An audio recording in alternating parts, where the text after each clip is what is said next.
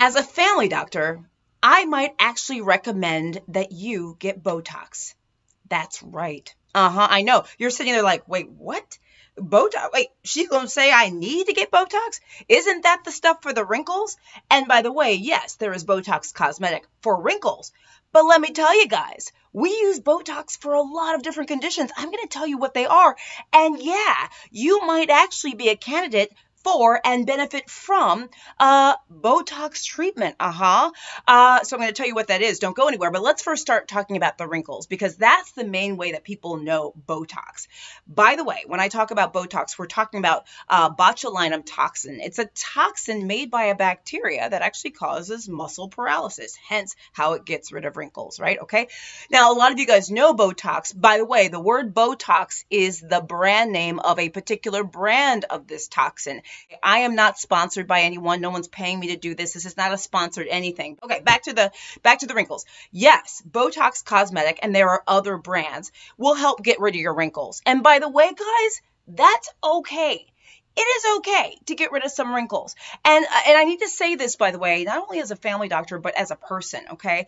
Sometimes there's a lot of shame on the Googler Schmoogler and other places about, "Oh, she gets Botox and whatever." And I'm like, "And can we just normalize people uh, doing, um, and it's got to be safe, professional, by board certified doctors, legit stuff, right?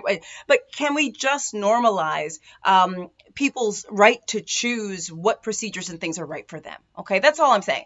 I don't want anyone to feel any shame. If you get Botox, right on. If you don't want it, totally fine. But yes, Botox can be used for wrinkles. It, it works very well. It's temporary, okay? Because it does wear off, so you have to get repeated treatments. But in the beginning of the, this video, I said, as a family doctor, I'm I might be recommending to you that you get Botox. The reason why I say that is because Botox or this botulinum toxin can be used for other conditions. Let me tell you what these are.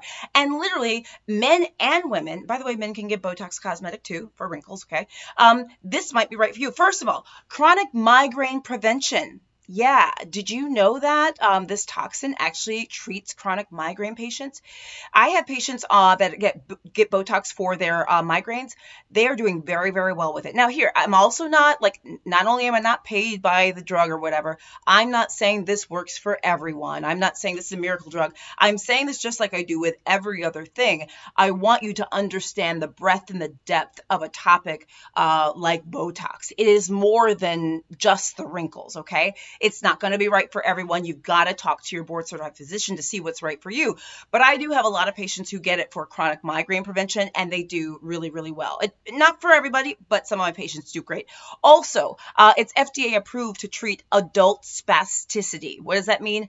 Muscle spasms, tight muscles in the arms and the, the legs. It's approved for adult use as well as pediatric use, which can be very, very helpful with people with certain neuro neurological conditions and other things. Also, it can can uh, it's FDA approved to treat something called cervical dystonia. That is when a person has involuntary sort of muscle contractions of their neck. Sometimes their neck can get stuck in a position. It can be tight. It can be really uncomfortable, spasmed. Okay. Botox can, uh, can is an FDA approved treatment for cervical dystonia. All right, can improve the head position, decrease the neck pain, the spasticity, etc. And can, you can imagine how great that would be for someone who had this issue. The next thing, the next thing is overactive bladder. Okay. Yeah, I know y'all hear me about this. Overactive bladder. By the way, for any of you, okay, uh, men, women dealing with incontinence, I want you to make sure you talk to your doctors. Incontinence can be a debilitating thing to deal with. It can keep you in the house, keep you away from your friends, keep you from going out, make you feel embarrassed all sorts of stuff.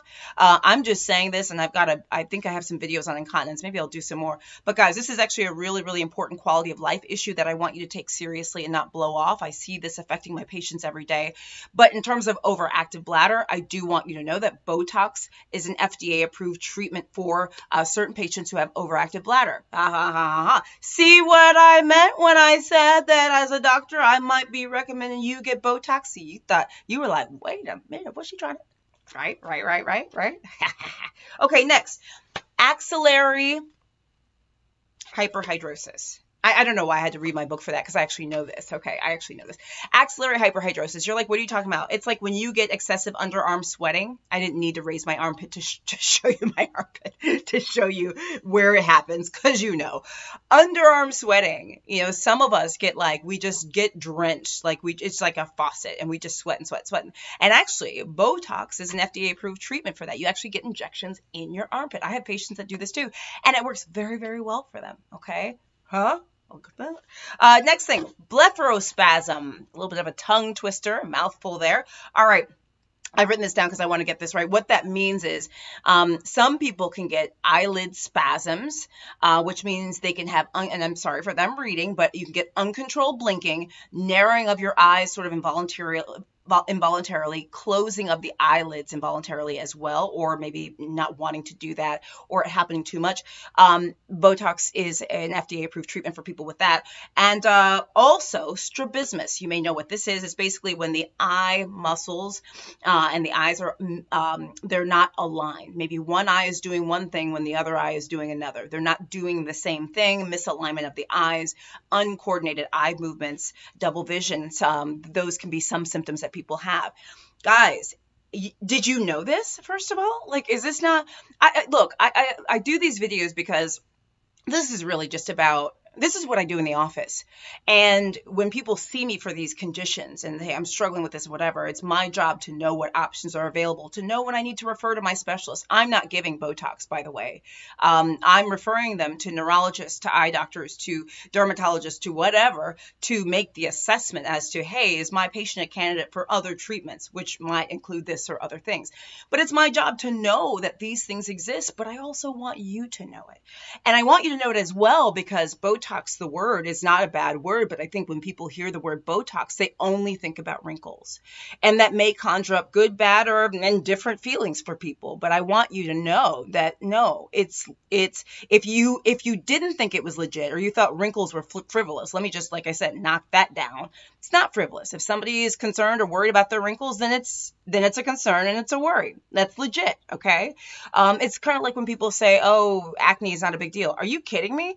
Acne can like devastate someone. It devastated me when I was a kid. So, and, and this is the doctor in me and the human in me. Like, you know, we, we don't blow off people's concerns. Okay, now I know I'm preaching. Let me just take a step back. I'm just in this mood today. Sorry. Um, but I want you to know, though, so when you hear the word Botox as an example, I want you to know that it's not only a cosmetic, Botox cosmetic, but it's also Botox as uh, an FDA approved treatment, not only for the cosmetic aspect, but for other medical conditions. Okay. So, Botox or a similar treatment actually might be right for you. You're surprised, aren't you? Mm-hmm. Right? So interesting. Um, I love what I do. Anyway, let me know uh, if you feel comfortable sharing right in the comments. Do you get Botox? What do you get it for? I only ask you to do this and only recommend it because number one, when you guys share things, it helps other people who are reading the comments. Okay. Um, and remember, this is a safe place. Yeah, there are people, negative Nellies, who write negative comments, but we're not talking about them. Um, this is a safe place for people to share. Okay. Um, anyway, tell me your experiences. Tell me what you do, what you don't do, what you think, what you thought. If this is new, whatever, I'm Dr. Jen. Um, please uh, uh, follow me on Facebook if you have not already. Consider joining my subscription groups, Dr. Jen Superstars on Facebook. For those of you who send stars. I respond to you personally. Thank you so much. On YouTube, hello. Um, please uh, subscribe to my channel. Click the little bell for updates. Also, guys, go to my website, drjencaudle.com, for my free um, health newsletter. Uh, you can subscribe to my uh, daily health tips, all sorts of stuff. Anyway, guys, love y'all. Okay,